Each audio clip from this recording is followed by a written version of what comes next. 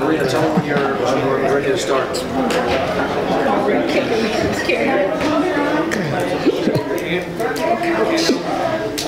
If everybody will take their seats, we'd love to start the uh, media lunch.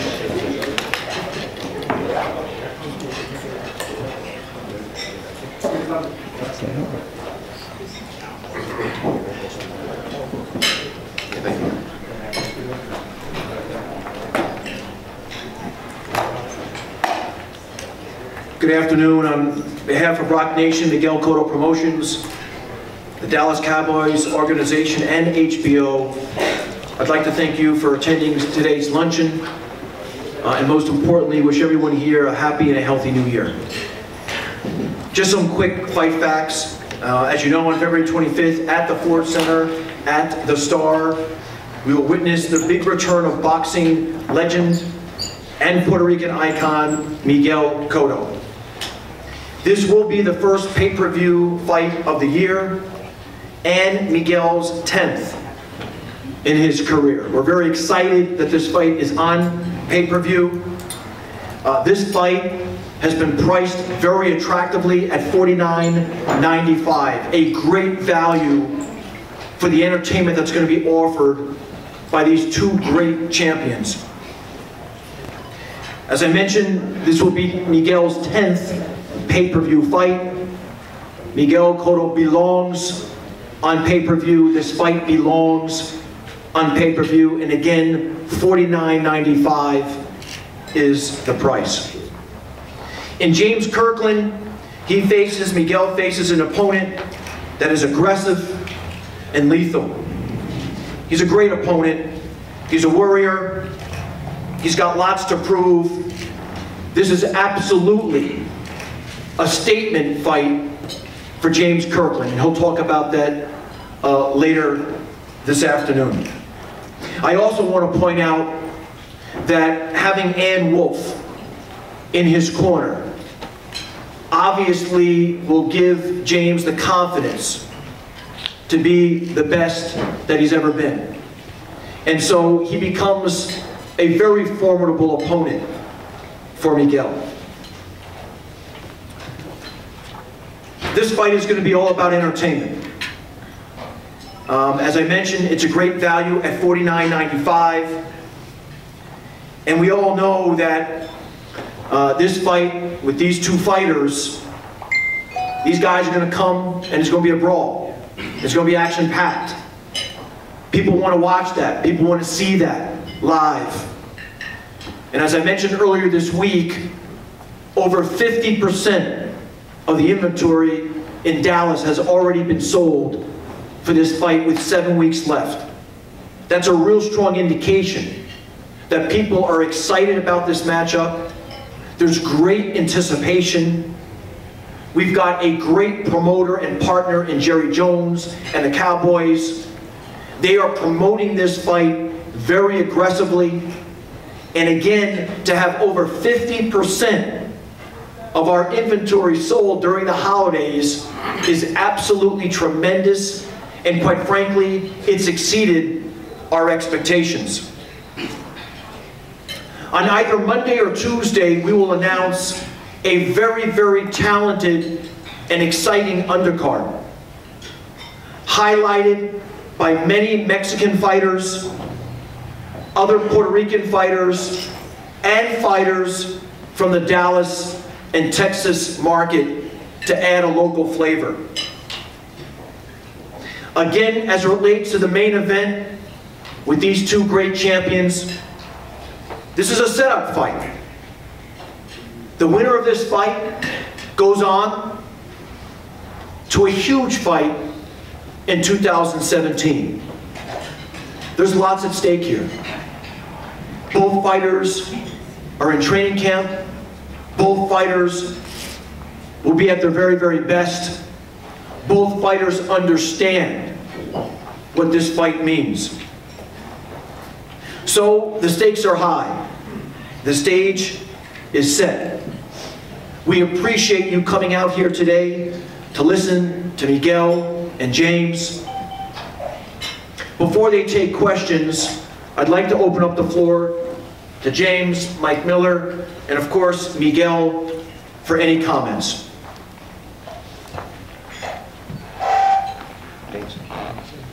Um, Foremost, I want to be able to thank pay-per-view, uh, thank Roc Nation, and definitely my team, and Miguel Cotto uh, for helping me with this uh, opportunity, and uh, definitely want to be able to uh, make the fans uh, proud and uh, excited to see this match. Uh, We're definitely uh, in camp, just as well as Miguel Cotto, and putting on a tremendous show as far as uh, uh, driving to the next limit and, uh, and making sure there's no limitations to how far to uh, push me to uh, get me to this uh, outstanding victory.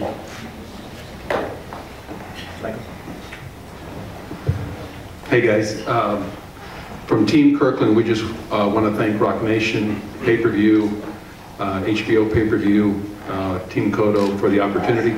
We look forward to uh, showing our talents February 25th. Texas is our home state, and with uh, Ann Wolfe training James, he's never lost.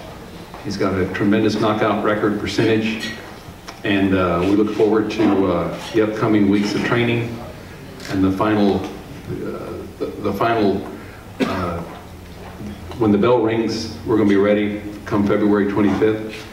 Uh, Get your tickets early. Texas is going to uh, come out proud and strong for James, so uh, you you better get them early. Appreciate it, guys. Thank you. Miguel? I'm happy to be here. I, I have uh, my camp start uh, two days ago, three days ago, and I'm committed to, to this fight. I'm committed to look the best in the best way possible for, for, for February 25th, and I'm in charge. Uh, Fred is in charge of, of uh, my camp. Fred is the captain of the boat, and I trust in him, and I know I'm going to be ready for September, uh, February 25th. Thank you. We will now open it up to questions. Mensaje para tu público en español? No, estoy bien, estoy preparado para, para, para el tío, no preparado, estoy preparándome para el combate, pero, pero estaremos listos para, para el próximo eh, 25 de febrero. Gracias. question was how ready he's going to be for the uh, 25th. Uh, He says, of course, he's going to be 100% ready uh, to give us a great fight. Miguel, habla sobre ah, regresar, regresando al ring después de un año y regresando con Freddy.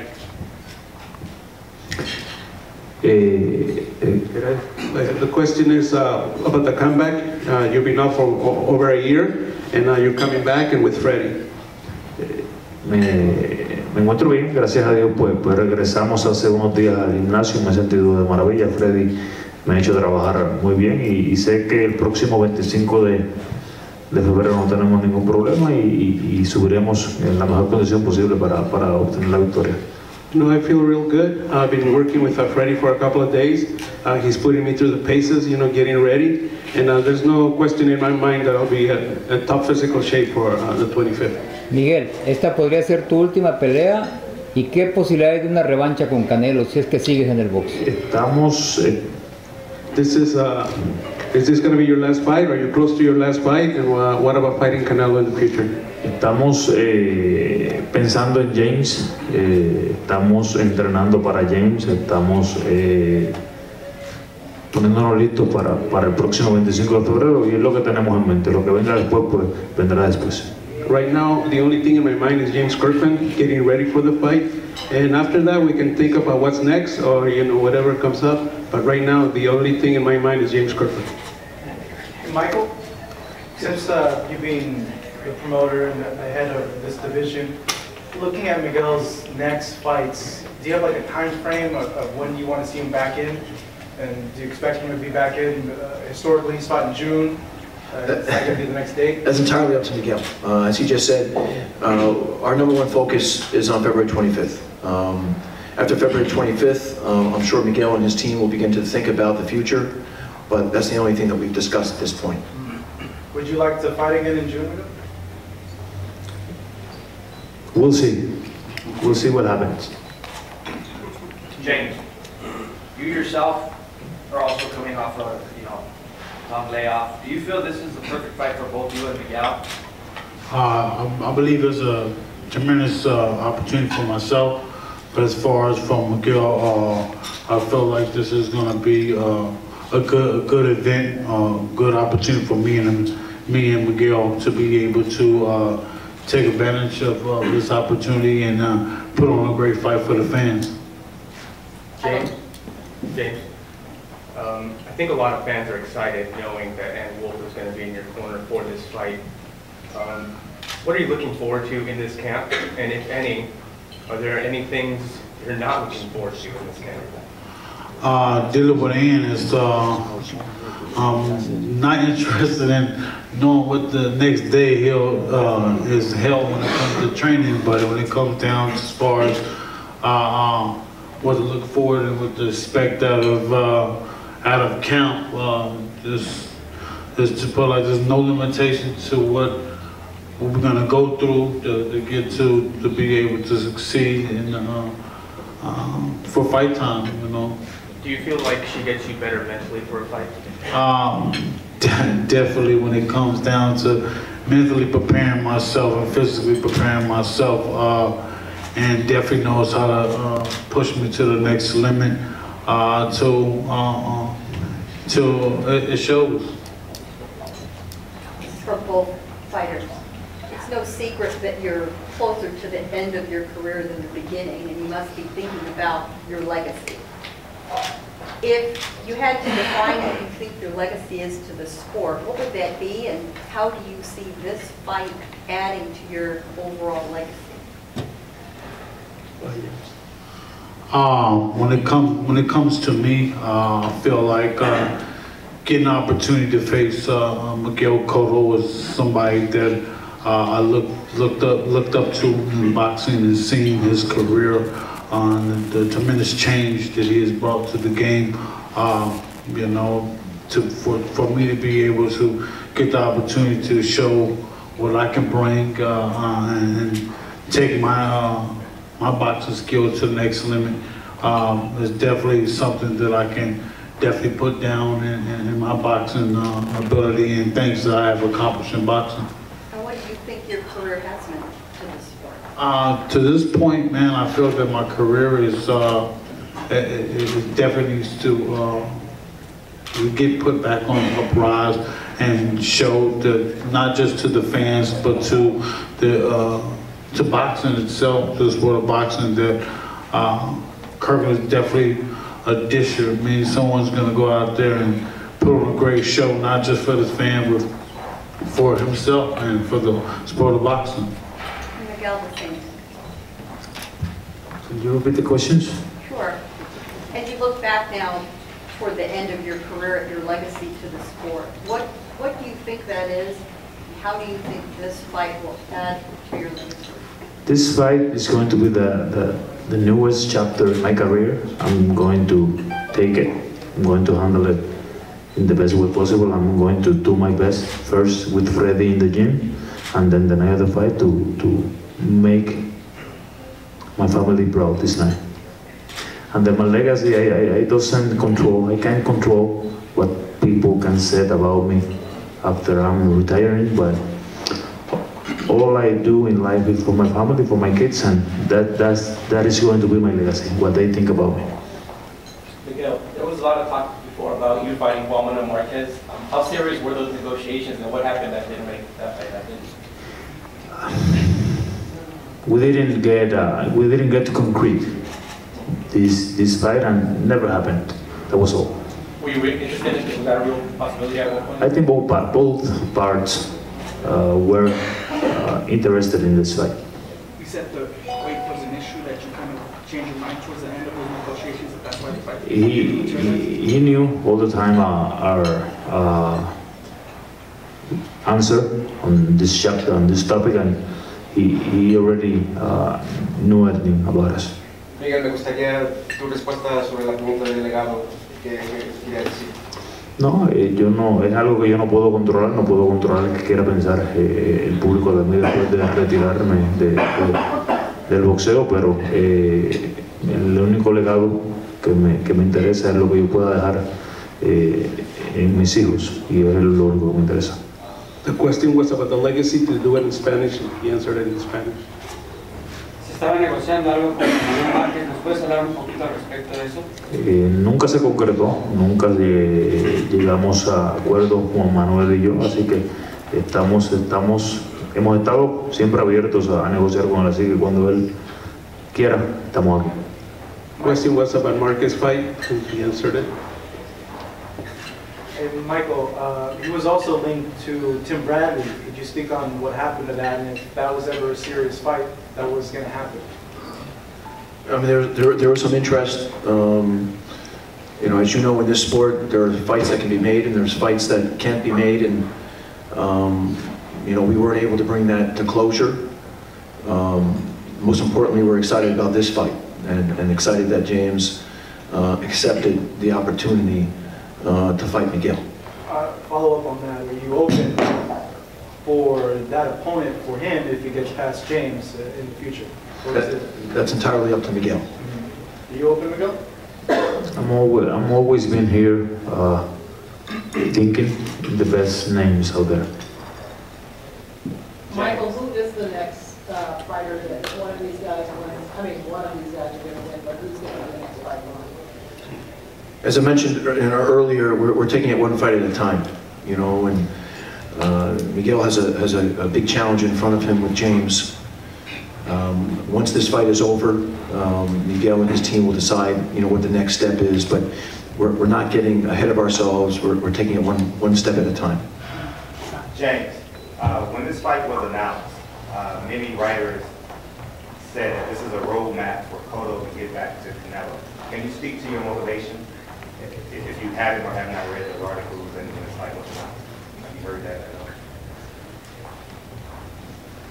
You, you, James, that's James. Oh, Um, honestly, man, uh, whoever uh, Miguel is wanting to face next, or, or or what that fight may help with, with with that next person, is totally up to them. But when it comes down for me and Miguel Cotto, we're focused on February the 25th. So writers and the fans or whoever may be entitled to looking at this fight should only be focused on February 25th because that's when the opportunity for me presents itself and, and I'm definitely want to put on a good show.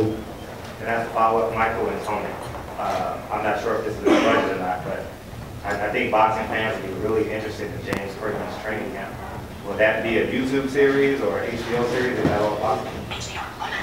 Since he's back with Ann Wolfe, and everyone loves Ann Wolfe's training, about how intense she is, or would it be a 24/7 or something like that? There will be some programming that's uh, being produ- that's going to be produced for showing on HBO that will will look at the training camps and, and the fighters. I'm not sure what we're going to name it yet, but there will be some new stuff that uh, you guys haven't seen before. Absolutely, we agree with you. Thank you. Ah, Miguel, en realidad, ¿cuánto tiempo más te ves eh, peleando? ¿Tienes algún plazo o simplemente lo que te deje tu cuerpo? Eh, estamos estamos eh, eh, hablando de, del- de la pelea, la próxima pelea el próximo 25 de febrero. Eh, estamos enfocados en ella y no, no, no hay cabida en estos momentos para, para, para, para hablar de esos temas. Creo que después de la pelea de febrero 25, pues nos sentaremos y decidiremos hasta dónde y hasta cuándo queremos. The question is, when uh, do you see yourself uh, fighting for a long time? Uh, How long do you think you have? Uh, Right now, you know, let's do February 25th. Let's uh, get the fight done, and then we'll think about what's next. But right now, the focus is the 25th, not thinking about anything else.